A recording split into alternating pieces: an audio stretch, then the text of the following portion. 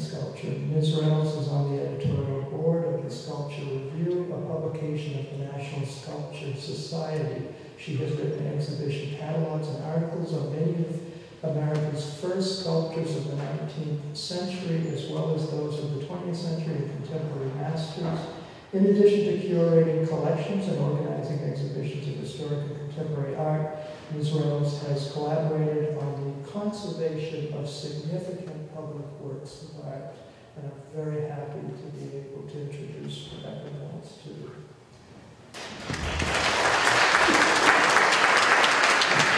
um, David and the North End Association has invited me here, but in particular the Dallin Museum, and especially Jim McGough, who is very much responsible for creating the Dallin Museum, assembling an amazing group of volunteers that have created this wonderful um, museum, a free museum in Arlington. In particular, I'd like to thank Amy Tabner and Heather Level, uh, Christine, and also Anne Astoria, who is also helping with this talk. They helped me get images and many other things.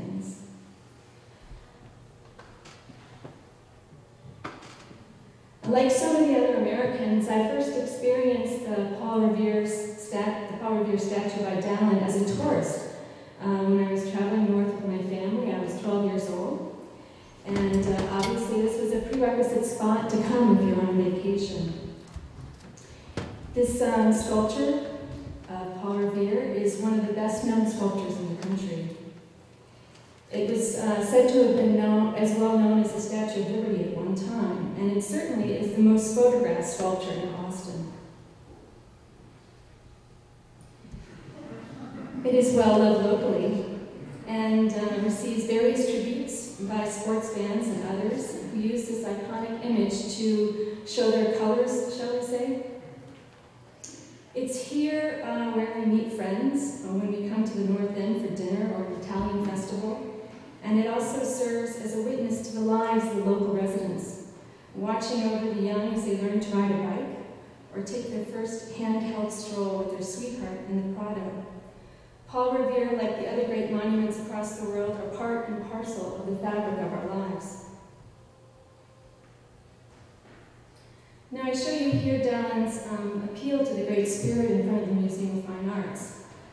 While the appeal is undoubtedly the most popular work by Dallin, and though few people know that it's by Dallin, so many people do know this work, and it's been widely reproduced. But I have to say that, uh, in my opinion, the Paul Revere statue is considered his masterpiece. The statue of Paul Revere represents the development of an idea over half a century. As was indicated in the newspapers during this period uh, that it was created, the narrative character of the composition is its strong point.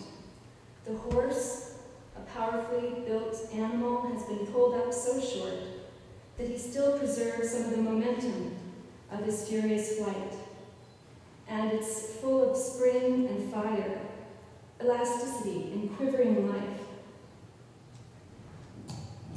His noble head is brought back close to his breast, the neck sharply arched, the mouth opened by the force of the rider's restraint, and one can almost hear him pant, so well expressed is the impression of suddenly arrested motion. The unveiling of the work happened on September 22nd in 1940, some 57 years after Dallin first created a model of the Paul Revere. He would create at least seven different versions, each with particular merits, and each, with each reiteration, the sculpture improved until he realized his masterpiece, the sculpture that graces the Prado today. The project began on October 1882 when a joint committee of the city bureaucrats and prominent Bostonians were appointed by Mayor Augustus Martin to promote the erection of an equestrian statue to the memory of Paul Revere in one of the city squares, probably adjacent to Trinity Church, uh, which we you know, now know as Copley Square. Well, Francis Snell, um, Dallin's biographer, described the half century that it took to realize Paul Revere's statue as really an injustice to a young sculptor who had rightly earned the commission. Indeed, it really wasn't wasted time, these 57 years, because it allowed Dallin the opportunity to mature and to perfect his work.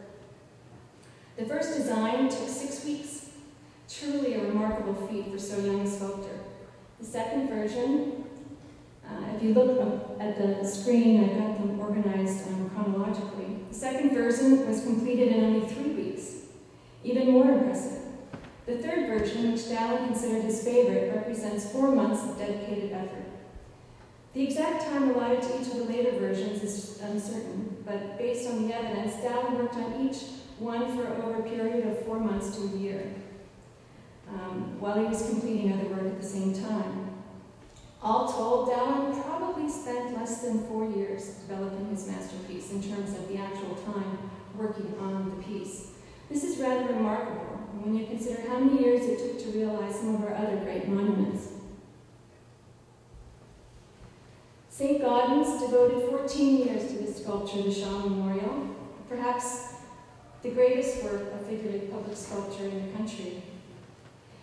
The Shaw Memorial was begun just about the same time that Dallin submitted his earliest designs for the Paul Revere statue, and it was unveiled across the street from the State House on the Boston Common in 1897, uh, when was uh, still working on his fourth model.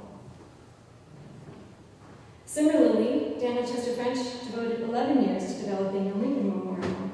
I should note that the history of this memorial began 10 years, actually began 10 years earlier in 1909, when four of the country's leading uh, artists and architects um, proposed this particular location for a memorial to Lincoln.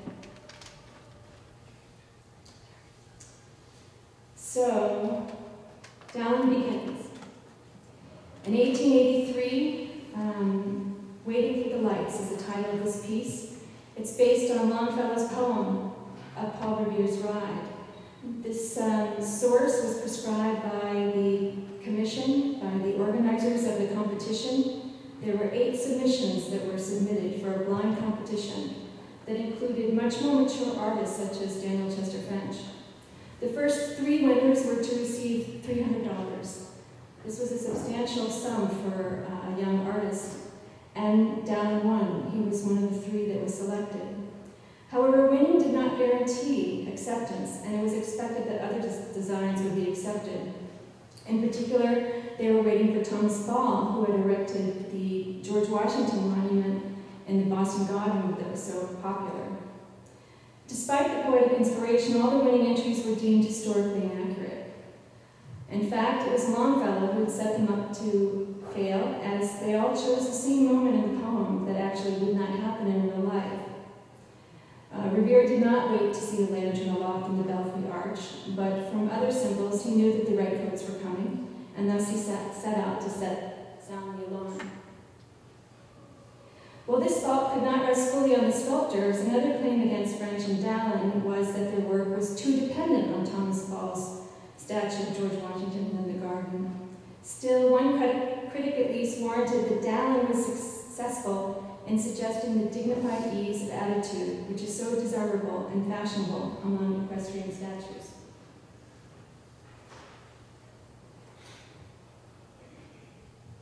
And with this piece, very, very soon in the uh, press, he received a challenge. Uh, yet another Boston Daily Globe critic compared Dallin's piece to that of Daniel Chester French, remarking that Dallin's sculpture was less animated in pose and expression than French's model. And perhaps it was upon reading this that Dallin decided that he would ask the committee chairman for permission to create a second model, which you see here. This model he did in three weeks. This work was then submitted for a runoff competition among the three winners, which included Dallin, uh, Daniel Chester French, and another sculptor. However, at that point, no decision was still made.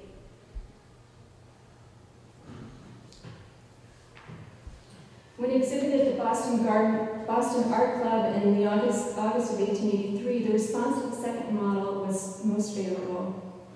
I quote, the new model presents Revere on his horse with a very spirited, unconventional, and vividly dramatic pose and gesture. Reining back his excited steed, the midnight messenger points with the right straight arm in the direction he has come, and his tense and anxious face almost speaks the message that he bears for each farmhouse by the way. The action and story of the statue are powerfully given, and the whole strikes the eye as singularly fresh, earnest, and original. Dallin's second model was accepted into an exhibition of contemporary American art at the Museum of Fine Arts as well, and again well received. However, Dallin was labeled as a neophyte, one who had gone ahead of himself um, in terms of the veterans the, on the scene. And in particular, um, he was lauded for his ability to capture the speed and motion of his group. However, the critic qualified his endorsement, suggesting that Dallin had in fact outdone himself. Quote, it is certainly a remarkable piece of work for so young a man, one of those things that makes one fear that it may be too good, as promising more than performance can redeem in the future. At least one visiting Italian professor had a different reaction to Dallin's work at the time, and he predicted that Dallin would become one of the foremost sculptors in America. However, the committee didn't quite see that, and they shared the doubts of the critics, and no contract was offered, despite the fact that Dallin had in fact won two separate blind competitions for the commission. In less than two months, Dallin had created two very worthy models for an equestrian monument to one of our nation's great patriots, a remarkable achievement for one so young. And you see him here, uh, so fresh and young. Making a model is one thing, of course, but creating a full-scale monument is yet another. Nonetheless, Dallin was fully confident in his ability, having been nurtured to believe in himself and encouraged to pursue his art since the age of 14 when he decided that he would become an artist. Dallin was also thwarted by public announcements against his work by his former teacher, uh, Truman Bartlett, and you see him uh, with that wonderful mustache in the center, looking straight out at you, resting his arm on the pedestal there. Dallin had left Bartlett's studio under unpleasant circumstances. Added to this was the fact that Bartlett's own son, an accomplished sculptor, had lost out to Dallin in the first competition. So Bartlett was not inclined to be generous in his thinking towards Dallin and his sculpture. The strong words of Bartlett, a respected artist and connoisseur in the Boston community, greatly discouraged the public from supporting the project. Bartlett described Dallin's sculpture as, and I quote, the most outrageous piece of effrontery and lack of intelligence on the committee's part to have selected the model. It is an impossible man on an impossible horse. The author is but a young man from Utah who has never done and will never do anything worthwhile. Now, there was some truth to these words. Uh, while in Bartlett's studio, Dallin created work similar to the one you see on the screen. Now, this is a copy of a work by the French sculptor Barye, the Algerian panther, and dates to 1880. Dallin produced this piece and sold copies to earn extra money. And at the time, with Bartlett's encouragement, he also worked in the Boston Terracotta Company. However, this was not enough to sustain him, and he left to work with the sculptor Sidney Morris in Quincy, where he made cemetery statues and reliefs for a granite company. Morris encouraged Dallin to develop in other ways. He introduced him to Goethe, Emerson, and Kant. This working relation lasted until September of 1882, when there wasn't enough work for both sculptors, and Dallin moved back to Boston. Not long after this was when the Revere competition began, and as we have seen, after two years of trying to satisfy the committee and raise public interest in the statue, um, nothing happened. In the hopes of securing commissions back home, Dallin returned to his hometown of Springville, Utah, in Salt Lake in February of 1884. His stay there would be brief because the committee wanted to negotiate again. asking for additional changes, which Dallin readily um, worked out. Dallin completed the first rendition of his third model of the Revere in August. But the committee found it unsatisfactory, so we had to work on it again until November, when he resubmitted it. Dallin's third design even surpassed his own expectations, and the committee almost unanimously voted to award the contract to Dallin. Part of the willingness certainly came from the judgment solicited from some 20 prominent artists who offered the following praise. And these are quotes. The horse is marvelous. The pose is splendid. Another stated that the general effect surprised me as being very speaking and decidedly monumental. Another declared that it was a spirited work of art and if carried out would make a statue of which we should be proud. And in the Boston Advertiser, the critic wrote that it was dashing, well-studied, effective, and enthusiastic. At last, the terms of the contract were worked out, allowing Dallin two years to complete the monument for which he would receive $25,000. The city had already donated the site and appropriated $5,000 to be paid out upon completion of the monument. The only thing that was left was to raise $20,000 by public subscription. However, the Upland mayor also failed to sign the contract and it was rendered invalid. Essentially, a new contract would need to be drafted under then Mayor Hugh O'Brien in 1885, but lack of funds would continue to plague the project.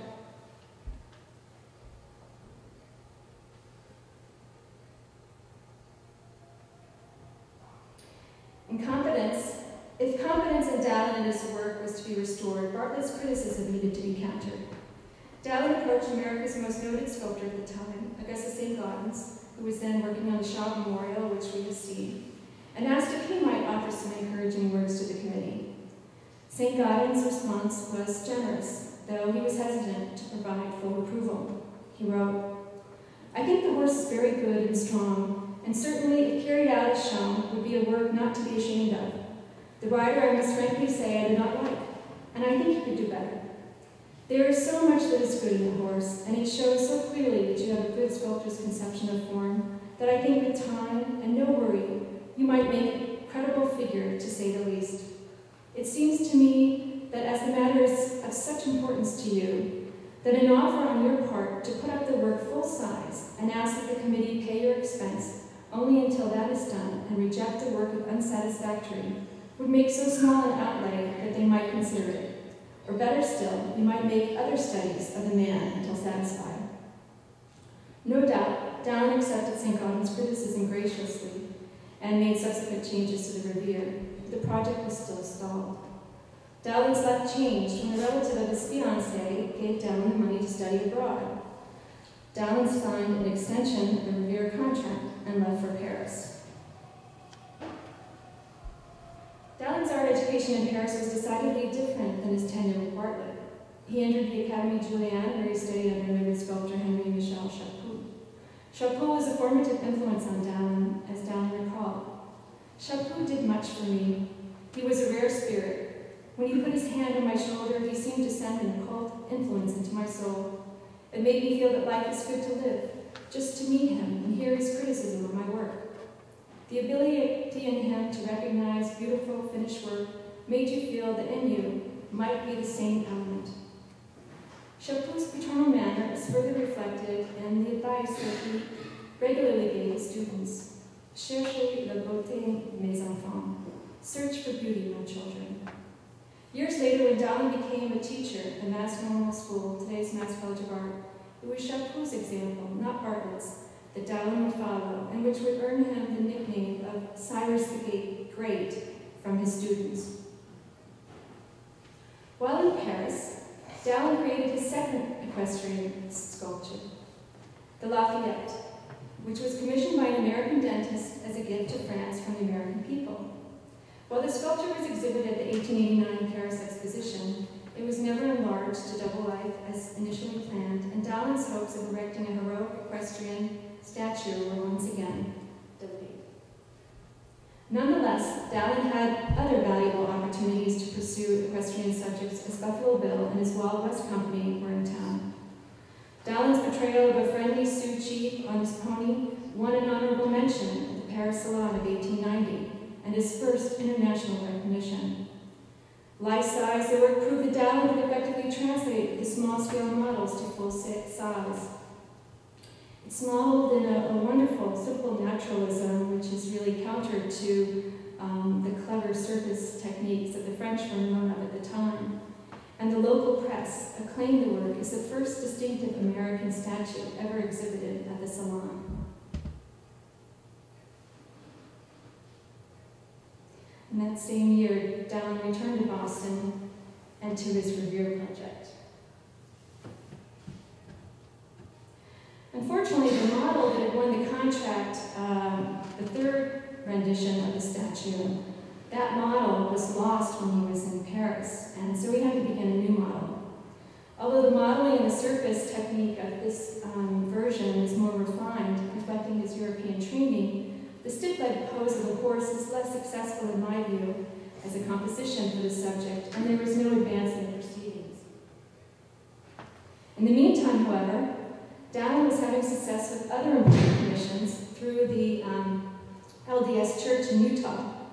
At 12 and one half feet, this was the first monumental work that Dallin created. Shortly after the Moroni sculpture was dedicated, the church commissioned the monument to the late church leader Brigham Young. While Dallin readily produced the design, and the, the church took more than eight years to raise the funds, thereby stalling this project as well. As a result of the lacking funds, uh, original plan was compromised, and he was greatly disappointed at the end result, which you see here. Dallin argued in vain to have the monument corrected, even at his expense. His main concern over his own financial well-being was that the monument look as well as possible. To Dallin's disappointment, the improvement that he sought was never carried out.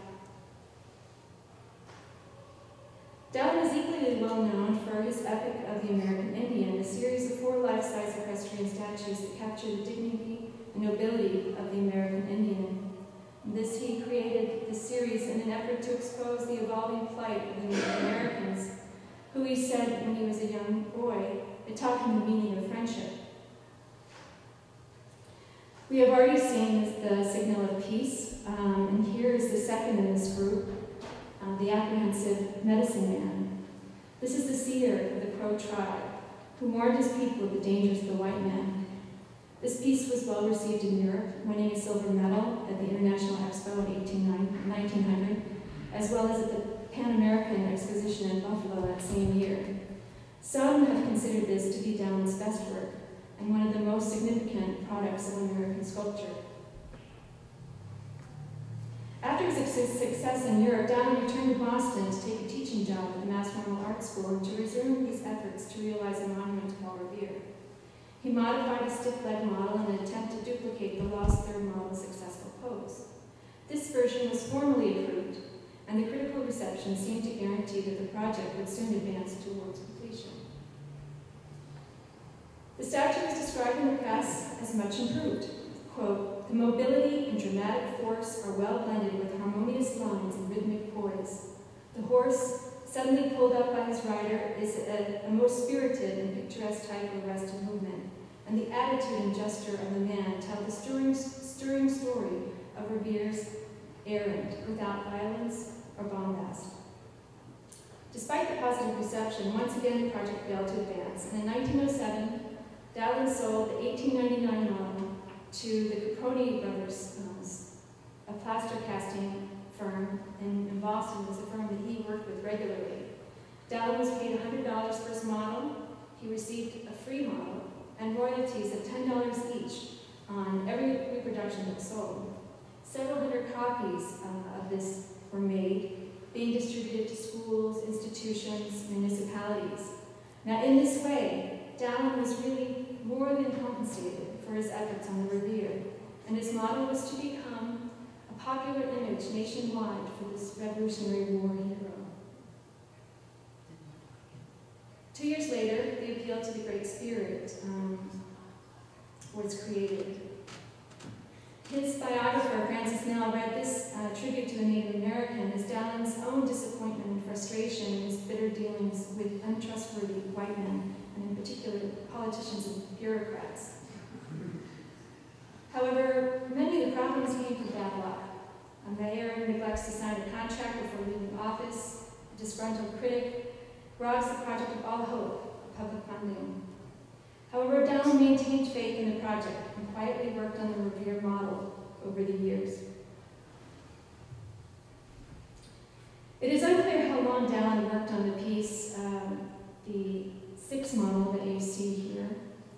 Uh, but based on his wife's diary, we know that he began a new version with the cape in 1912. And you see that cape in the center. Again, Dallin adopts a stick-like pose for his horse and introduces a curl of the forelock to su suggest added movement and the play of the wind. It was said that Dallin uncovered the statue at least once a year on the anniversary of Paul Revere's ride.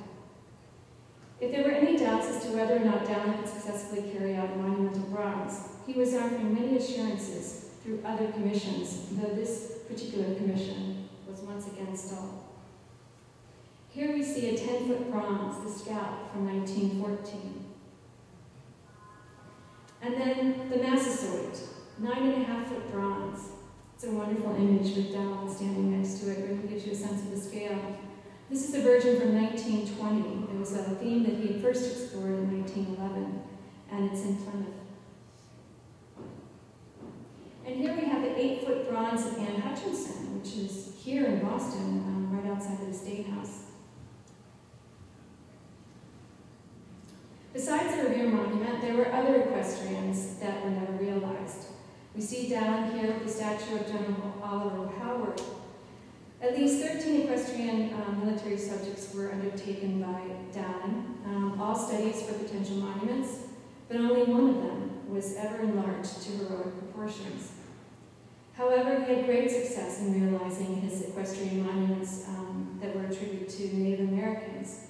There was also a ready market and tabletop versions of these for the middle class. His military subjects really had a limited market, and without the interest of using them for monumentation, they just really never got underway. By 1935, finally, there was added incentive to see the Revere project through. It was the 200th anniversary of the birth of Paul Revere. The seventh model duplicated the action of the 1884 statue, but with a little bit more refinement and subtle control. The earlier model had been his favorite, the third one, and he still didn't know how he did it, guessing that there might have been something psychic in it. He didn't really believe that he could do better now, but he did. Dallin finally decided to follow the advice of Augustus St. Gaudens that he had offered nearly half a century before.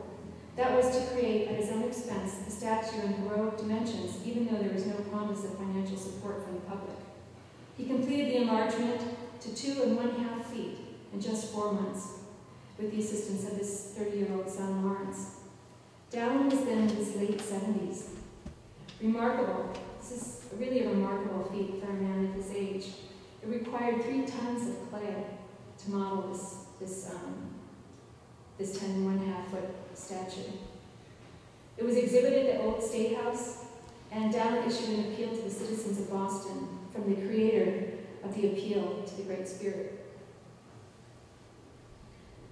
Seventh version uh, returns to the 1884 design that he had preferred. And then in 1934, he made some corrections to the upraised foot of this model to correct an error that he had finally detected. You see, it took all that time for him to see what could be better. As I said, he did this in four months. By this time, he had created five life or over life equestrian statues and was clearly able to accomplish the feat. Remarkably, despite the anniversary and public interest, the project continued to lag. Thus, in 1937, Dallin offered the Revere to Arlington, as it was this city um, was on the path of the Patriots' ride and was also his hometown. The likelihood of losing the sculpture to Arlington added new vigor to the project, and once again the city and Dallin entered into negotiations. As public funds continued to be the issue, Dallin petitioned the George Wright, Robert White Fund to support the project. Though they had denied the project in the past as not in line with their mission, Dallin was able to convince them that his sculpture satisfied their guidelines, and the sculpture was finally installed in September of 1940. Although Dallin had anticipated receiving at least 30000 for his monument, most of the money was lost to graft. Nonetheless, the Paul Revere is truly a fitting legacy for a sculptor of Dallin's character and abilities. To learn more about Dallin and his contributions to American art and culture, I invite you to go to the Dallin Museum in Arlington.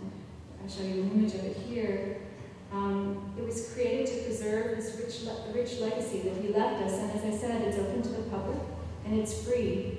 Uh, you can look online and, and see what their hours are. People come from all over the world to visit, and I encourage you to do um, that someday soon. Thank you very much.